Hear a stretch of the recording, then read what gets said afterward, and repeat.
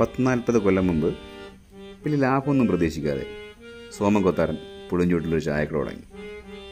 കൊത്താരന്റെ കാലശേഷം ഏകമകൻ ശശിധരൻ പഴമയിലേക്ക് അധികം പുതുമ കടത്തിവിടാതെ കട നടത്തിക്കൊണ്ടിരിക്കുന്നു.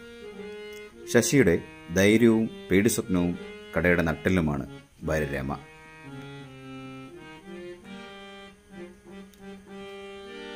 പരദൂഷണം ഒരു ഭൂഷണമാക്കിയ സുഗുണൻ ഗൾഫിലെ മലയാളി അസോസിയേഷന്റെ ആജീവനാന്ത സെക്രട്ടറി രായൻ. കണ്ടാൽ ഗുണ്ടകളാണെന്ന് തോന്നിക്കുന്ന ഗുണ്ടാലിസ്റ്റ് പോയിട്ട് വോട്ടരിസ്റ്റിൽ പോലും പേരില്ലാത്ത പപ്പനും ഗോവനും ഇവരെല്ലാം കൂടി ടീ കടയിൽ ഒത്തിയേർന്നാൽ പിന്നെ എന്താവും കഥ? കണ്ടറിയാം.